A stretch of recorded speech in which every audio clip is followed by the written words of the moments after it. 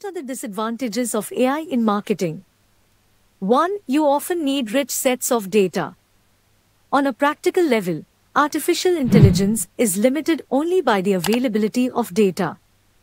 Because there is a direct relationship between the richness of data and the capability of an artificial intelligence application, data becomes the key to an AI system. 2. Reliable prediction and analysis can be uncertain. In the 1980s there were expert systems that were considered artificial intelligence. They had completely hard-coded rules, but we have now moved beyond that to statistical models to predict outcomes. AI now is basically just algorithms most people don't fully understand yet. For example, 10 years ago Google Maps used to be considered artificial intelligence. Now it's considered basic. Reliable sentiment analysis, I figuring out if a sentence is happy, sad or sarcastic, is really hard for artificial intelligence, along with reliable sentence parsing. Visually recognizing a teacup reliably is challenging for current machine vision algorithms. Folding laundry is another incredibly hard task for artificial intelligence-powered robots. The human intuitions underlying what data to look for and what questions to ask are some of the biggest limits now. Another limitation is the ability to operate on very small amounts of evidence or data.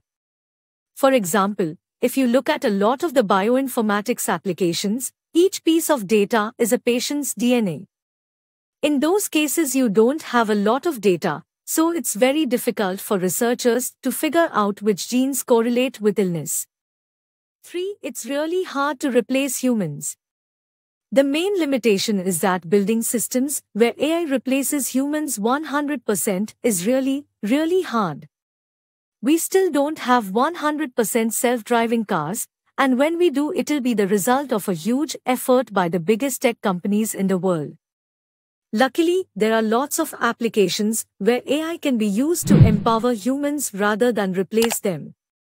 When AI is used to crunch data to come out with recommendations for instance, it still provides a lot of value if these recommendations are right only 80% or 90% of the time, because humans can quickly determine the correct actions from the incorrect ones.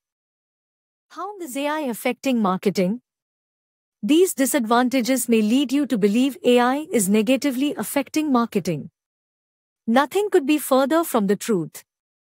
These are very real limitations, to be sure. But AI also holds great promise in the industry. AI is beginning to impact every aspect of marketing, including advertising, analytics, content marketing, communications and PR, customer service, e-commerce, email marketing, social media, sales, and much, much more.